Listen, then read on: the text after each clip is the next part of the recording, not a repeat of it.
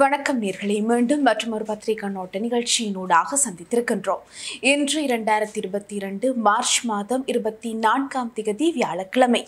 இந்த நாள் உங்கள் எல்லோருக்கும் பாதுகாப்பான இனிய நல்லதொரு நாளாக அமைய வேண்டும் என்று கூறிக்கொண்டு இன்றைய தினம் வெளியாகியுள்ள பிரதான பத்திரிகைகளின் செய்திகள் எவ்வாறு அமைந்திருக்கின்றன என்பது தொடர்பில் பார்க்கலாம்.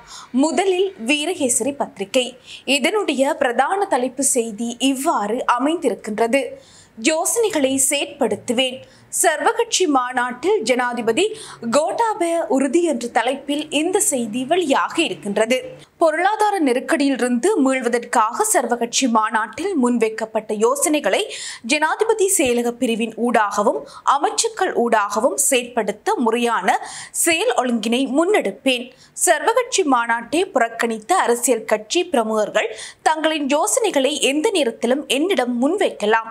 நாட்டையும் நாட்டு மக்களையும் பாதுகாக்கும் பொறுப்பு அனைத்து தரப்பினருக்கும் உண்டு என ஜனாதிபதி கோட்டாபய ராஜபக்ஷ தெரிவித்தார். நாடு எதிர்கொண்டுள்ள மோசமான பொருளாதார நெருக்கடி குறித்து ஆராய்வதற்காக பாராளுமன்றில் அங்கம் வைக்கும் அரசியல் கட்சிகளின் பிரதிநிதிகளுடனான சர்வகட்சி மாநாடு ஜனாதிபதி கோட்டாபய ராஜபக்ஷ தலைமையில் நேற்று ஜனாதிபதி செயலகத்தில் நடைபெற்றது. காலை பத்து முப்பது மணியளவில் சர்வகட்சி மாநாடு ஆரம்பமானதுடன் நாட்டின் பொருளாதார நெருக்கடி தீவிரமடைந்துள்ள நிலையில் சர்வகட்சி மாநாட்டை நடத்துவதன் நோக்கம் குறித்து ஜனாதிபதி ஆரம்ப உரையில் குறிப்பிட்டார். அரசியல் நோக்கங்களுக்கு அப்பாற்பட்டதாக சர்வகட்சி மாநாடு உண்மையான நோக்கத்துடன் ஏற்பாடு செய்யப்பட்டுள்ளது. நாடு எதிர்கொண்டுள்ள பொருளாதார நெருக்கடிக்கு குறுகிய மற்றும் நீண்டகால அடிப்படையில் தீர்வினை செயற்படுத்த அனைத்து தரப்பினரது ஆலோசனையும் எதிர்பார்க்கின்றோம். பொருளாதார நெருக்கடியிலிருந்து நாட்டை மீட்டெடுக்க வேண்டும். பல்வேறு காரணிகளினால் சர்வகட்சி மாநாட்டை புறக்கணித்த அரசியல் கட்சிகள் தங்களின் யோசனைகளை தொடர்ந்து என்னிடம் முன்வைக்கலாம் என குறிப்பிட்டார். என்றவாறு இந்த செய்தி வெளியாகி இருக்கின்றது. அதனைத் தொடர்ந்து மற்றொரு செய்தி வீரகேசரி பத்திரிகையில். அதிகார பகிர்வின்றில் நெருக்கடிக்கு தீர்வில்லை. யுத்தத்தை தோற்றுவித்த காரணிகள் இன்றும் நடைமுறையில் உள்ளன. சர்வகட்சி குழுவில் வலியுறுத்தினார் சம்பந்தன் என்ற தலைப்பில் இந்த செய்தி வெளியாகி இருக்கின்றது. முப்பது வருட கால யுத்தம் நாட்டில் பிரதான பிரச்சனையாக காணப்பட்டது. யுத்தத்தை தோற்றுவித்த காரணிகள் இன்றும் நடைமுறையில் உள்ளன. அதிகார பகிர்வு அவசியமாகும். தமிழ் மக்கள் காலங்காலமாக கோரும் உரிமை மற்றும் தனியுரிமை சுதந்திரம் உள்ளிட்ட பல விடயங்களுக்கு இதுவரையில் எவ்வித தீர்வும் கிடைக்கப்பெறவில்லை.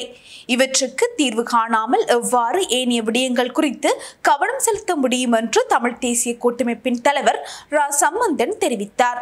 ஜனாதிபதி கோட்டாபய ராஜபக்ஷ தலைமையில் நேற்று கொழும்பில் நடைபெற்ற சர்வகட்சி மாநாட்டில் கலந்து கொண்டு உரையாற்றியிலேயே சம்பந்தன் மேற்கண்டவாறு குறிப்பிட்டார். என்றவாறு இந்த செய்தி வெளியாக இருக்கின்றது. அதனைத் தொடர்ந்து மற்றொரு செய்தி வீரகேசரி பத்திரிகையில். ரணிலிடம் மன்னிப்பு கோரிய ஜனாதிபதி என்ற தலைப்பில் இந்த செய்தி வெளியாக இருக்கின்றது. பொருளாதார நெருக்கடிக்கு நல்லாட்சி அரசாங்கம் காரணம் என மத்திய வங்கியின் ஆளுநர் குறிப்பிடுவதை ஏற்றுக்கொள்ள முடியாது. பொருளாதார பாதிப்புக்கு அனைத்து அரசாங்கங்களும் காரணம் என்று குறிப்பிடுவதாயின் விஜயன் இலங்கைக்கு வந்ததிலிருந்து குற்றச்சாட்டுக்களை முன்வைக்க வேண்டும். அரசியல் நோக்கமில்லாத வகையில் தான் சர்வகட்சி மாநாட்டில் கலந்து கொண்டுள்ளோம். என்பதை முதலில் தெளிவாக குறிப்பிட்டுக் கொள்ள வேண்டும் என முன்னாள் பிரதமர் ரணில் விக்ரமசிங்க கடுமையான விமர்சனங்களை நேற்றைய சர்வகட்சி மாநாட்டில் தெரிவித்தார். இதன்போது பதிலளித்த ஜனாதிபதி கோட்டாபய ராஜபக்ஷ அரசியல் காரணிகள் பற்றி பேசும் தருணம் இதுவல்ல. உண்மையான நோக்கில் சர்வகட்சி மாநாடு ஏற்பாடு செய்யப்பட்டுள்ளது.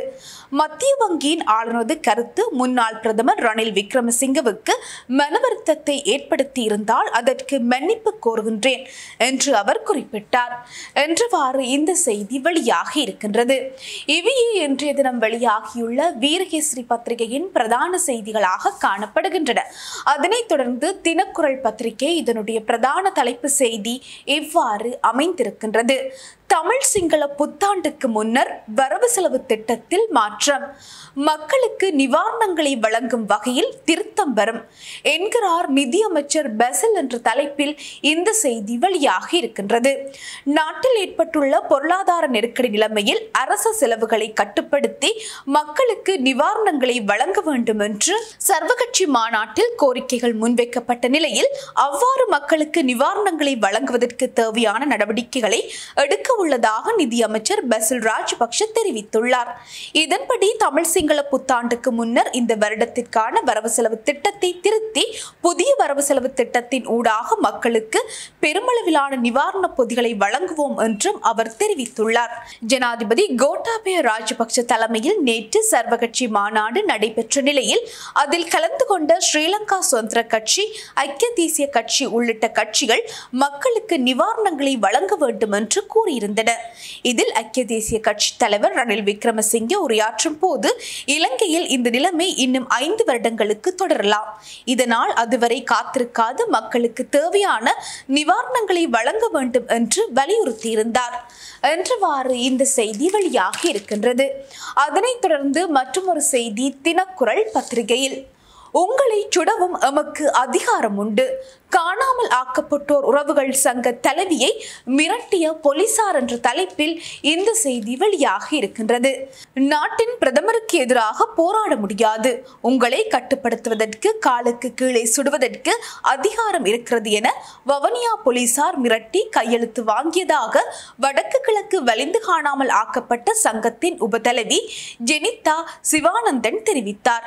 அவர் மேலும் தெரிவிக்கையில் கடந்த இருபதாம் தேதி ஞாயிற்றுக்கிழமை மட்டுவில் பொருளாதார மத்திய நிலையத்தை திறந்து வைப்பதற்காக மஹிந்த ராஜபக்ஷ வரிய தந்த நிலையில் வலிந்து காணாமல் ஆக்கப்பட்ட சங்கத்தினர் ஆகிய நாம் நீதி கேட்டு போராட்டத்தை முன்னெடுத்தோம். இறுதியுத்தத்தின் போது பாதுகாப்பு தரப்பிடம் கையளிக்கப்பட்ட எமது உறவுகளுக்கு என்ன நடந்தது என பிரதமரை கேட்பதற்கு அனுமதி தர வேண்டும் என கோரிக்கை விடுத்தோம். சிலரை மட்டும் சந்திப்பதற்கு கேட்கப்பட்ட நிலையில் அதனை நாம் மறுத்து தமது பிள்ளைகளை தொலைத்த அனைத்து உறவுகளும் சந்திக்க வேண்டும் என்றோம் அனுமதி கிடைக்கவில்லை இந்த நிலையில் உறவுகள் நீதி கேட்டு போராட்டத்தை நடாத்திய போது போலீசார் காட்டுமிராண்டித்தனமாக பெண்கள் மீது தாக்குதல் நடத்தினர். இதன் போது பல தாய்மார்கள் காயங்களுக்கு உள்ளாகிய நிலையில் இருவர் படுகாயமடைந்த நிலையில் வைத்தியசாலையில் அனுமதிக்கப்பட்டார். ஜனநாயக வழியில் நீதி கேட்டு போராடிய மீது போலீசார் சப்பாத்து கால்களினாலும் கையில் இருந்த பொருட்களினாலும் தாக்குதல் நடத்தினர். என்றவாறு இந்த செய்தி வெளியாகி இருக்கின்றது. அதனைத் தொடர்ந்து மற்றொரு செய்தி தினக்குரல் பத்திரிகையில். இலங்கையின் வான்பரப்பும் இந்தியாவுக்கு விற்பனையா? ஹரின் பெர்னாண்டோ குற்றச்சாட்டு என்ற தலைப்பில் இந்த செய்தி வெளியாகி இருக்கின்றது. பாதுகாப்பு கட்டமைப்பு என்ற போர்வையில் இலங்கையின் வான்பரப்பையும் இந்தியாவுக்கு விற்பனை செய்வதற்கு அரசாங்கம் முயற்சிப்பதாகவும் இது தொடர்பான அமைச்சரவை பத்திரமும் முன்வைக்கப்பட்டுள்ளதாக தெரிவிக்கப்படுகின்றது. பதுளையில் இடம்பெற்ற ஊடகவியாளர் சந்திப்பின் போது ஐக்கிய மக்கள் சக்தியின் நாடாளுமன்ற உறுப்பினர் ஹெரின் பெர்னாண்டோ இந்த குற்றச்சாட்டினை முன்வைத்திருந்தார். இங்கு தொடர்ந்து கருத்து வெளியிட்ட அவர் இருபத்தி ஒன்பது மில்லியன் டாலர்களுக்கு இரண்டு ஆண்டுகளாக அரசாங்கம் இலங்கையின் வான்பரப்பை இந்தியாவிற்கு விற்பனை செய்ய நடவடிக்கை எடுத்துள்ளது. நாட்டின் பாதுகாப்பை உறுதிப்படுத்துவதற்காக பதவிக்கு வந்த ஜனாதிபதி நாட்டின் பாதுகாப்பை மாத்திரமல்லாது கடற்படையையும் இந்தியாவுக்கு விற்பனை செய்துள்ளார். இலங்கை மக்கள் பெரும் கஷ்டங்களை எதிர்நோக்கி வரும் நிலையில் எரிவாயுவை கொள்வனவு செய்ய முடியாது. மக்கள் வீதிகளுக்கு குறுக்காக அமர்ந்து போராட்டங்களை நடத்தி வரும் வேளையில் இலங்கையின் பாதுகாப்பு கட்டமைப்புக்கு என கூறி இலங்கையின் வான்பரப்பு இந்தியாவுக்கு விற்பனை செய்யப்பட்டுவிட்டது. இலங்கையின் கடலும் நிலமும் சீனாவுக்கு வழங்கப்பட்டது. துறைமுகங்களை இந்தியாவுக்கு வழங்கினர் என்றவாறு இந்த செய்தி வெளியாக இருக்கின்றது. அதனைத் தொடர்ந்து மற்றொரு செய்தி தினக்குரல் பத்திரிகையில். பிரபாகரன் காலத்தில் யாரும் பட்டினியால் இறக்கவில்லை. ஸ்ரீதரன் எம்பி கூறுகிறார் என்ற தலைப்பில் இந்த செய்தி வெளியாக இருக்கின்றது?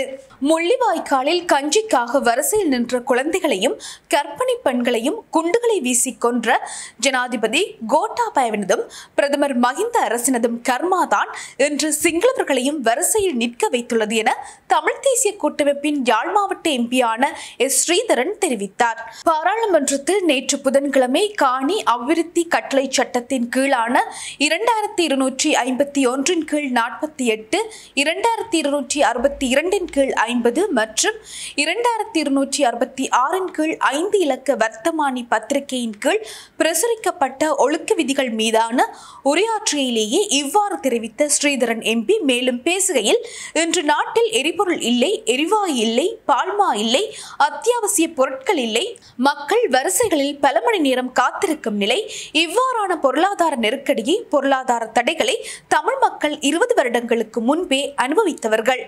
என்றவாறு இந்த செய்தி வெளியாகி இருக்கின்றது. இவையே இன்றைய தினம் வெளியாகியுள்ள தினக்குரல் பத்திரிகையின் பிரதான செய்திகளாக காணப்படுகின்றன. அதனைத் தொடர்ந்து தினகரன் பத்திரிகை இதனுடைய பிரதான தலைப்பு செய்தி இவ்வாறு அமைந்திருக்கின்றது. நாட்டின் தற்போதைய நிலைக்கு அனைவருமே பொறுப்பு. சர்வகட்சி மாநாட்டு தீர்மானங்களை நிறைவேற்ற விசேட சேட் திட்டம். அனைத்து விடயங்களும் கவனத்தில் கொள்ளப்படும். ஜனாதிபதி என்ற தலைப்பில் இந்த செய்தி வெளியாக இருக்கின்றது. சர்வகட்சி மாநாட்டில் கட்சித் தலைவர்களால் முன்வைக்கப்பட்டுள்ள அனைத்து யோசனைகளையும் நடைமுறைப்படுத்துவது தொடர்பில் கவனம் செலுத்தப்படும் என்று அந்த யோசனைகளை ஆராய்வதற்காக ஜனாதிபதி செயலகத்தில் விசேட செயற்திட்டம் ஒன்றை முன்னெடுக்க உள்ளதாகவும் ஜனாதிபதி கோட்டாபய ராஜபக்ஷ தெரிவித்தார். நாட்டின் தற்போதைய நெருக்கடி நிலைக்கு அனைவருமே பொறுப்பு என்பதால் அதற்கான தீர்வுகளை பெற்றுக்கொள்வதில் அனைவருக்கும் பொறுப்புள்ளதாகவும் ஜனாதிபதி தெரிவித்தார். தொடர்ந்தும் இத்தகைய கலந்துரையாடல்களை மேற்கொள்ள எதிர்பார்த்துள்ளதாகவும் ஜனாதிபதி தெரிவித்தார். என்றவாறு இந்த செய்தி வெளியாகி இருக்கின்றது. அதனைத் தொடர்ந்து மற்றொரு செய்தி தினகரன் பத்திரிகையில். திட்டமிட்டபடி மே மாதம் ஜிசிஇ ஓஎல் பரீட்சைகள் கல்வி அமைச்சின் செயலாளர் தெரிவிப்பு என்ற தலைப்பில் இந்த செய்தி வெளியாகி இருக்கின்றது. கடந்த ஆண்டுக்கான கல்வி பொதுத்தராதர பத்திர சாதாரண தர பரீட்சைகள் திட்டமிட்டபடி மே மாதம் இடம்பெறும் என கல்வி அமைச்சின் செயலாளர் பேராசிரியர் கபில பெரேரா தெரிவித்தார். அரசாங்க தகவல் திணைக்களத்தில் நடைபெற்ற ஊடகவியலாளர் சந்திப்பிலேயே அவர் இத்தகவலை தெரிவித்தார். அவர் மேலும் தெரிவிக்கையில் இரண்டாயிரத்தி இருபத்தி இரண்டாம் கல்வி ஆண்டு ஆண்டுக்கான பாட புத்தகங்களில் முப்பத்தி எட்டு மில்லியனுக்கும் அதிகமானவை அச்சிடப்பட்டு பிரதான களஞ்சிய சாலைகளில் வைக்கப்பட்டுள்ளதுடன் பாடசாலைகளுக்கும் பகிர்ந்தளிக்கப்பட்டுள்ளன. இவ்வாண்டிற்கான முதலாம் தவணை ஆரம்பமாகும் போது முழுமையாக பாடப்புத்தகங்கள் வழங்கும் பணிகள் நிறைவடையும் என்று பேராசிரியர் கபில பிரேரா தெரிவித்தார். என்றவாறு இந்த செய்தி வெளியாகி இருக்கின்றது. இவையே இன்றைய தினம் வெளியாகியுள்ள பிரதான பத்திரிகைகளின் முக்கிய செய்திகளாக காணப்படுகின்றன. அதனைத் தொடர்ந்து தற்போது நாட்டினுடைய காலநிலை பற்றிய தகவலை அறிந்து கொள்வதற்காக தொடர்பினை ஏற்படுத்துகின்றோம். இலங்கை வளிமண்டலவியல் திணைக்களத்தின் சிரேஷ்ட வானிலை அதிகாரி முகமது சாலிஹின் அவர்களுடன். வடக்கு கிழக்கு வடமத்திய மத்திய சப்ரகமுவ மற்றும் உவ மாகாணங்களின் பல இடங்களில் பிற்பகல் இரண்டு மணிக்கு பின்னர் மழை அல்லது இடியுடன் கூடிய மழை பெய்யக்கூடும். மேல் மாகாண கரையோர பிராந்தியங்களில் காலை வேளையிலும் சிறிதளவு மழை பெய்யக்கூடும். பலத்த காற்றும் மின்னல் தாக்கங்களும் ஏற்படக்கூடிய சந்தர்ப்பங்களில் பொதுமக்கள் அவதானத்துடன் செயற்படுமாறு கேட்டுக்கொள்ளப்படுகின்றனர்.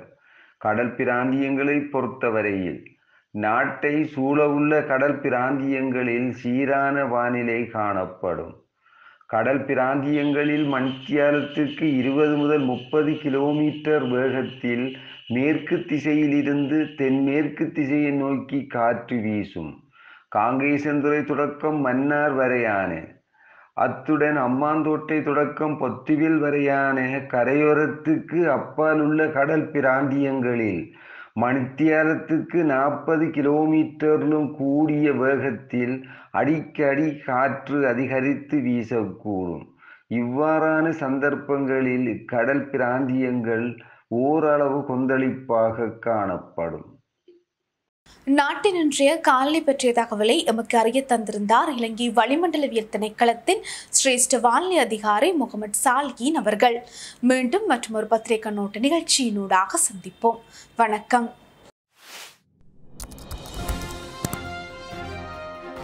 அனைத்து செய்திகளையும் பார்க்க லங்கா ஸ்ரீ நியூஸ் சேனலை சப்ஸ்கிரைப் பண்ணுங்க. உடனுக்குடன் பார்க்க வேண்டுமா? அப்போ கீழிருக்கும் பெல் பட்டனை கிளிக் பண்ணுங்க.